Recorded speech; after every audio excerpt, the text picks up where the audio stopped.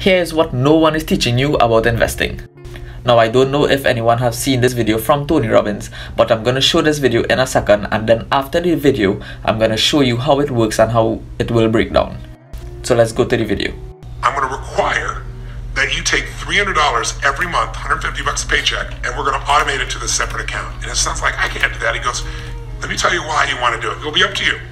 If you promise to do that and you really do it and you automate it so you don't see it, and you do that for eight years, you'll never have to invest again and you'll be financially set for life. His thing goes, come on, dad. Eight years, $300 a month, what is that? He does the math. He goes, that's 28000 you know, over eight years, $28,800. 28,800, how's that going to do anything? Especially if they don't have any more money after 27 years old. He goes, let me show you, son. The market's gone up 10% over 30 years. Let's apply a lower number. Let's do 8%. Be conservative.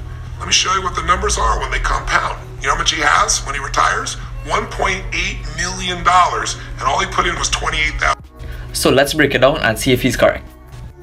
So here it is. The initial investment is 300 and every month you want to put in 300 into the market and you do that for a period of 8 years with an interest rate of 10% right so let's hit calculate and the result is $41,812 but how, how can that be if you take 8 years and multiply by 12 which is 12 months in a year right you get the total months you are invested into you'll get 96 and then take that 96 and multiply it by $300 per investment.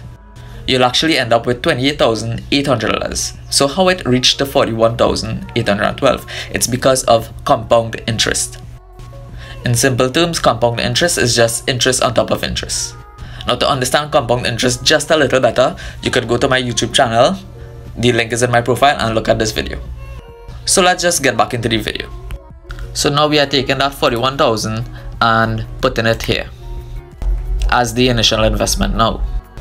Now after the 8 years we are not going to contribute anything else so we are going to put 0 there in the, and we are going to leave that in the market for 40 years for the same 10% return.